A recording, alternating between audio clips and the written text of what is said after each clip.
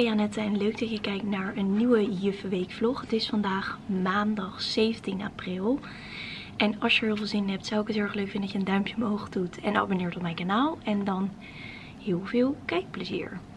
Het is dus vandaag maandag 17 april en wij gaan straks met de klas naar beeld en geluid. En we kunnen echt niet wachten. We hebben hier echt al weken naar uit zitten kijken. En vandaag is het eindelijk zover. Het is nu nog best wel vroeg. Ik wilde nog even een paar kleine dingetjes klaarzetten. Nog even wat printen.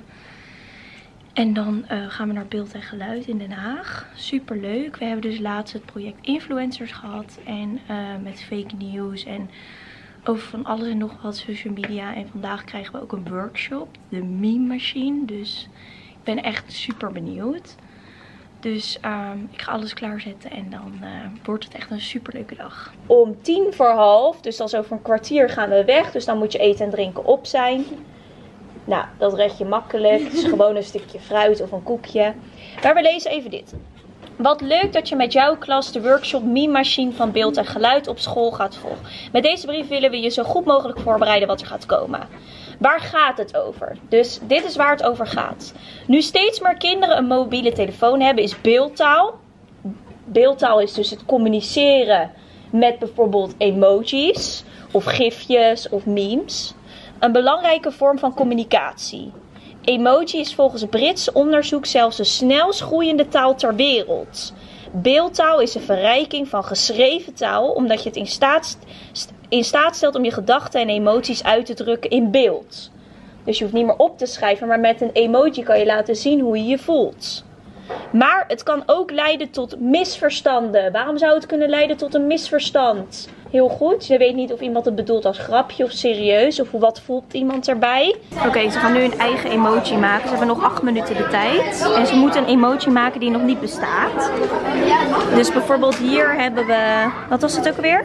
Um, ik ben aan het klussen. Aan het klussen? Oh, heel leuk. Een soort van explosieve Playstation teken, denk ik. Ja. Heel hier hebben we ook nog andere. Dit is een gemake-up en geslagen gezicht. Twee kanten.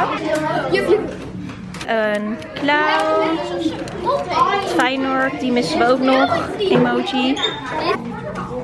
En wat betekent het? De planten water geven. Ja. Welke heb je gemaakt, lieverd? Kijk, dan heb je hier zo, zeg maar, de natuur nog gewoon genoeg Ja? Maar dan is het hier helemaal uitgedroogd. Oh, wauw. En hier dat je moet schoonmaken? Of? Ja, ze heeft zin in de McDonald's. Oké, ze hebben nu één emoji gemaakt. Nu moet ze hem vervolgen. En dan daarna gaat hij onder de, ja, in dat apparaat. En dan wordt er een gifje van gemaakt. Dus dat is super leuk.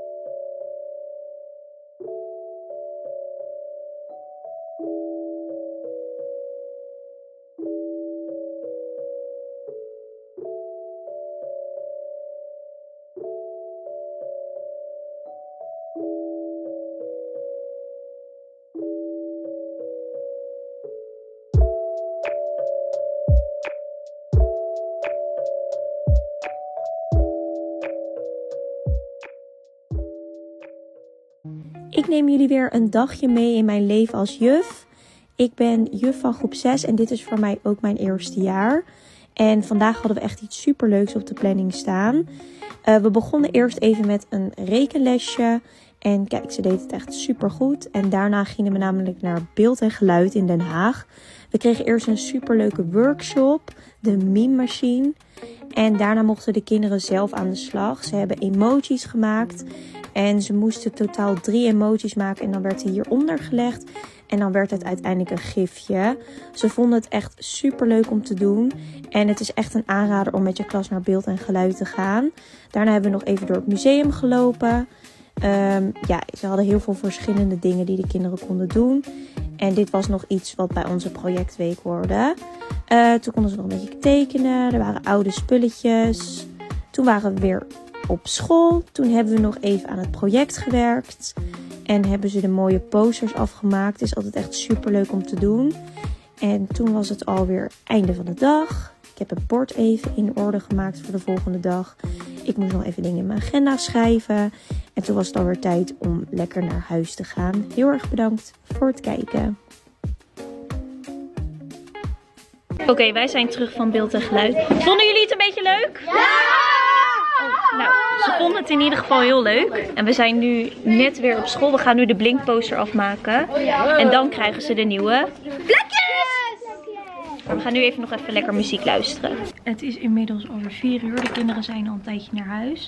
Het was echt een super leuke dag. Echt een aanrader om met je klas naar beeld en geluid te gaan. Heel erg leuk. Ze hadden ook verschillende workshops. En deze was dan voor groep 6. We hebben de plekjes veranderd in de klas. Ik heb dus nu tweetallen en viertallen gedaan. Even helemaal wat anders. Want na de vakantie is natuurlijk de laatste weken alweer voor de zomervakantie. Het is echt bizar. Dus ik wilde gewoon even helemaal een andere opstelling. Dus dat heb ik nu gedaan. En ik ga nu even alles klaarzetten voor morgen. En dan morning. Het is vandaag dinsdag. En ik ben best wel moe nog van gisteren. Maar ja, dat is ook wel logisch. Want als je naar een museum en zo gaat, dan... Ik had volgens mij echt 14.000 stappen. En ik had in de avond ook nog gesport. Dus goed bezig. Vandaag gaan we weer verder met die muziekles. Want vorige week hadden we de Cup Song. En ik wil dus nu het ook met bekers erbij doen.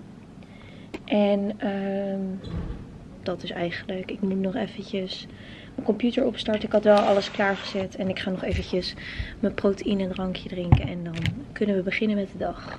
Dus we gaan hem eerst nog één keertje even oefenen. Dan doen we de bekers erbij. En dan straks gaan we het samenvoegen. I ticket for the long way round. Two bottle whiskey for the way. And I sure would like some sweet company. When I'm gone, you can miss me when I'm gone. Tafel, klap, zet op. Klap, pak, tik, tik, tik,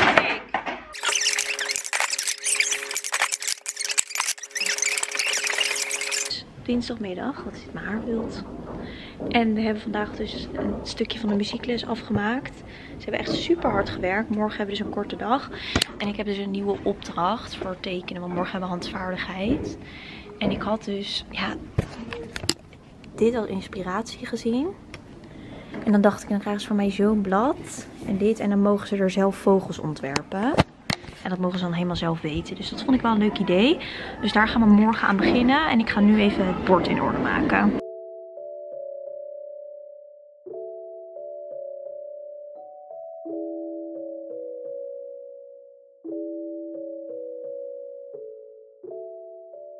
Oké, even een heel ander beeld. Ik had namelijk nog een pakketje die ik heel graag aan jullie wilde laten zien. Met een kortingscode van Naked. Dus ik doe dat even snel tussen de vlog. En als je het niet wil zien, moet je gewoon lekker vooral doorspoelen. Het zijn een beetje vakantie-items, maar ook andere dingen. En ik dacht, ik laat het gewoon weer lekker aan jullie zien, want ik vind dat altijd super leuk. En ik had ook hele leuke slippers. Daar zal ik wel even mee beginnen. Ik dacht wel leuk voor de zomer en voor vakantie. Als ik ze ook krijg. Oh zo. En dat zijn namelijk deze zwarte. Ik dacht heel erg leuk voor onder een jurkje. Ik hoop dus dat ik ze pas. Ik heb ze gewoon in mijn eigen maat besteld. Ik zal hem gelijk wel eventjes proberen. Dan weten jullie het ook. Ja, hij past. Hij is wel best wel strak hier bij mijn voet. Maar ik heb ook niet hele dunne voeten of zo. Maar hij past wel. Dan als tweede heb ik een joggingspak. En ik hoop dus dat de kleuren hetzelfde zijn. Want het was namelijk geen set. Maar ik vond de kleuren heel leuk. Maar zo te zien is het hetzelfde. En ja, ik hou gewoon van joggingspakken. En van Naked zijn ze altijd echt mega goede kwaliteit. Ik heb de broek in een maat S. En dan aan de onderkant heeft hij dit. Want dat vind ik altijd wel fijn. En dan de trui. Nou, en dan de trui gewoon eigenlijk heel simpel. Die trui kan ik natuurlijk ook gewoon normaal dragen. De trui heb ik ook in een S. Is wel een oversized model. En de kleuren passen echt perfect. Dus ik vind dit wel echt een heel chill joggingspak. De trui is dus wel lekker oversized. Maar daar hou ik eigenlijk wel van. Dus dan heb ik hopelijk de mooiste strandjurk ever. Ik vond hem echt zo gaaf. En toen ik hem zag dacht ik echt, ik wil deze zo graag hebben. Oké, het zijn dus deze kleuren. Dat vind ik sowieso heel mooi op vakantie met oranje, bruin en rood. En dan is het dus zo'n hele lange gebreide jurk waar je dus bijvoorbeeld een bikini onder kan doen. Maar je zou hem ook al gewoon in de avond kunnen dragen. Zo. Echt mega mooi. Ik zie wel dat hij echt super lang is. Hij is misschien zelfs te lang. En ik heb hem dus in een maatje S. Ik dacht een M wordt misschien te groot. Maar ja, ik moet gewoon eventjes kijken. In ieder geval, hij is echt hele goede, mooie kwaliteit. Maar hij was ook wel wat duurder. Oh ja, dan had ik nog een leuke trui gezien. Gewoon voor naar werk. Ik hoop eigenlijk dat we niet meer heel lang truien aan hoeven. Maar oké. Ik dacht wel heel erg leuk boven een spijkerbroek of boven mijn bruine leren broek. Ik zag namelijk deze trui en ik vond dit wel heel erg gaaf. En ze hadden um, wel nog maar... Deze was echt in de sale. Want volgens mij was echt 15 euro. Maar ik vond hem wel nog heel erg leuk om gewoon, ja, boven een trui, ja, gewoon te dragen. Daar ben ik ook heel blij mee. Ik heb hem wel in een M, want er waren dus niet meer zoveel maten. En dan had ik nog twee items.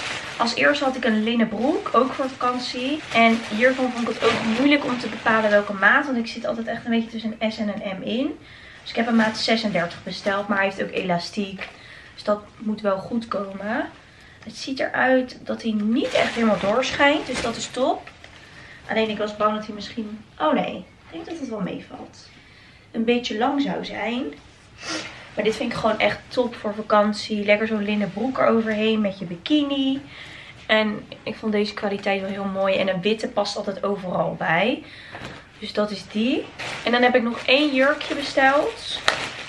In mijn lievelingskleur. En ook in linnen. En dat is dit linnen groene jurkje. Deze is wel wat netter. Maar ik dacht ook wel misschien leuk voor werk. En dat is dus een wat langer jurkje. En in het midden kan je hem dus met een riem een beetje zo tailleren. Deze heb ik dus in een 38. Zodat hij niet super krap zit, maar gewoon een beetje oversized. En deze vind ik echt super leuk. Want ik hou echt van dat soort kleuren. Dus ik ben echt heel erg blij met de items. Good morning. Het is vandaag woensdag, korte dag. En ik ga vandaag naar de kapper. Zin in. Ik ga dus mijn extensions even laten verhogen, want die zitten nu een beetje hier. En uitgooien, een beetje verven. Maar vandaag gaan we hele leuke dingen doen. Ik had ook een leuke knutselopdracht, die had ik gisteren laten zien. Dus we gaan nu eventjes alles opstarten. Doe maar mee. Klap, klap. En dan drie keer op de tafel. 1, Op. Pak op. Tik. Tik. Over. Hand. Zo. Let op.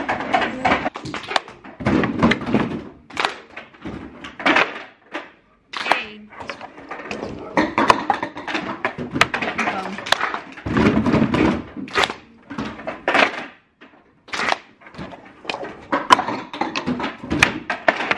Heel goed. Je krijgt van mij straks een blauw blad en je krijgt een strook. Je kan een wat dikkere tak, je kan een wat dunnere tak doen. Die kan je opplakken op je blad. Mag je zelf kiezen hoe hoog. Want misschien wil jij wat grotere vogels maken, misschien wat kleinere, misschien wil je nog wat vogels eronder maken. Want we gaan namelijk er vogels op maken. Ik heb hier wat inspiratie, maar het hoeft er niet precies zo uit te zien. Dus je gaat die tak ga je erop plakken en daarop ga je dan een vogel maken. Je kan drie vogels maken, je kan er vier, je kan er vijf maken. Dat mag je zelf kiezen. Je kan uh, een gezinnetje maken, ik zeg maar wat, met allemaal dezelfde vogels. Maar je kan ook allemaal verschillende vogels die bij elkaar komen. Een papegaai. Je kan het helemaal zelf bedenken. Oké, ze hebben nu net de opdracht gekregen. En sommige zijn met de tak begonnen en sommige al gelijk met de vogels. Oké, het is inmiddels bijna drie uur. De kinderen die waren natuurlijk om 12 uur al klaar. En ik heb volgens mij niks meer gefilmd. Ze zijn alleen begonnen aan die tekenopdracht. En ik zit nu in de auto, want ik ga onderweg naar de kapper. Ik ga mijn extensions laten ophogen. Want het is alweer 6, 7 weken geleden of zo. En ik ga even mijn uitgroei laten doen. Dus ik ben onderweg naar Evie. En ik heb net aan mijn nagels gezeten. Het ziet er echt niet uit. Ik moet het echt vanavond doen. Ik heb alles eraf gehaald. En um, ja, dus ik ben daar nu onderweg naartoe. Oké, ik heb nu echt mega slecht licht. Maar het is weer echt zo mooi. Ik ben altijd zo tevreden. Ik wil echt niks anders meer Ze heeft het ook weer heel mooi gekruld. Ja, het licht is echt vreselijk. Oh, nu zie je het wel beter. Maar kijk even hoe prachtig dit is. Echt bizar mooi. Good morning. Het is vandaag donderdag. En ik ben dus gisteren naar de kapper geweest. En ik ben zo... Oh, woeps. Zo mega blij. Ik vind het echt heel erg mooi. Ging vooral even dat die uitgroei hier een beetje weg was. En ik ben er echt mega blij mee hoe het is gedaan. Dus dat is helemaal top. Ik ga nu even het bord in orde maken. Want dat had ik nog niet gedaan. En dan gaan we er een leuke dag van maken. Ik heb weer heel veel energie. Dus dat is top. En het is vandaag donderdag. Even kijken, donderdag. Zo, gaan we dit even klaarzetten. En dan ga ik even het bord doen.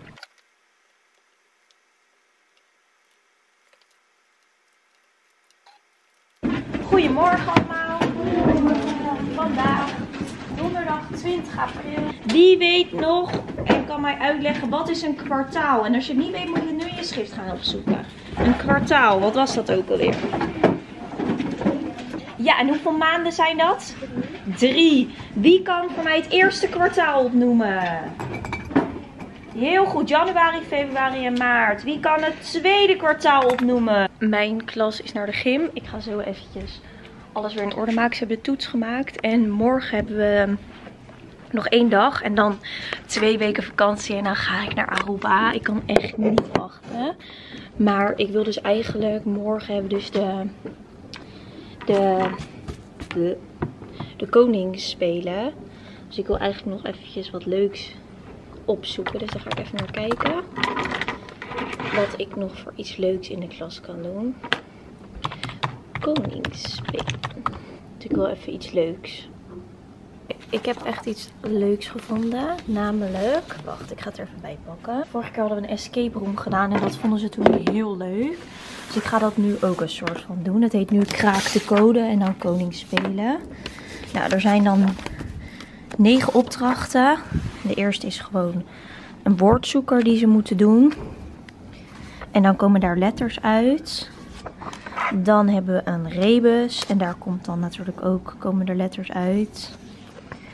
Dan hebben ze, um, hier moeten ze provincies vragen. Onze koning heet, bijvoorbeeld. Um, dan hebben ze nog ook kleuren. Nou, we hebben allemaal verschillende opdrachten en dan krijgen ze uiteindelijk allemaal letters en die vormen een woord. Dus dat ga ik nu even klaarmaken voor morgen. Oké, er zijn dus nu zes opdrachten. En dan kunnen ze uit de achterkant kunnen ze de opdracht halen. Die opdrachten ga ik dan even door de, beetje door de school verspreiden. En dan hebben ze ook nog een antwoordenblad waar ze de antwoorden op kunnen schrijven. Het is vandaag vrijdag. Koningsspelen. Goedemorgen allemaal. Het is vandaag vrijdag 21 april. En we hebben vandaag de Koningsspelen. We beginnen zo met een rekenlesje. Het is meer een doellesje. Dus je hebt niet echt je laptop nodig. Uh, daarna gaan we rond kwart voor tien gaan we ongeveer eten en drinken. Misschien ietsje eerder. Dan gaan we om vijf over tien gaan we met andere groep 6 gaan we naar de gym fietsen. Want we moeten daar vijf voor half elf zijn. Dan krijgen jullie een uur de koning spelen. Je gymspullen nodig, je fietsen. Dan komen we terug. Dan hebben we misschien nog een kwartier, misschien 20 minuten. Het ligt er een beetje aan. Kijken we nog even een stukje film. Gaan we lunchen. Dan heb ik voor jullie een kraak de code in groepjes. Een soort net zoals de vorige keer escape room, maar dan Koningsdag. Dus je weet, elke zijde is 1 meter. 1 vierkante meter. En hoeveel kinderen passen precies in 1 vierkante meter? Als je het weet, mag je je wisbordje omhoog houden. Hoeveel kinderen denk je dat erin passen? In de gloria, in de gloria. Met z'n allen, hyper de piep. Hyper de piep. Hyper de hyper de hyper de hyper de de piep. Hoera! Oké, het is vrijdag, middag, het is vakantie. We hebben echt een hele leuke middag gehad. We hebben dus kraak de code gedaan. Volgens mij heb ik echt helemaal niks meer gefilmd. Het was wel net iets te lastig, dus ze hebben het niet afgekregen. Maar verder hebben we nog even aan de knutsel gewerkt. En er zitten echt al hele mooie resultaten bij. Kijk, zo. En dan gaan we daar volgende keer aan verder. En ik vind het gewoon heel leuk dat alles er anders uitziet. Zo. En ik ga dus nu nog even bord in orde maken. Laatste dingen een beetje opruimen. Want ik wil eigenlijk in de vakantie niet terugkomen. Omdat ik ook op vakantie ga. En dan ga ik lekker naar huis. En dan heb ik twee weken vrij. Dus dan komen er twee weken geen juffenvideo's. Maar wel Aruba vlogs. Ik wil jullie nog heel erg bedanken voor het kijken naar deze video. Sorry dat hij wat later online is gekomen. Ik hoop alsnog dat je het heel erg leuk vindt. En dan zie ik je heel snel weer bij een nieuwe video. Doei doei!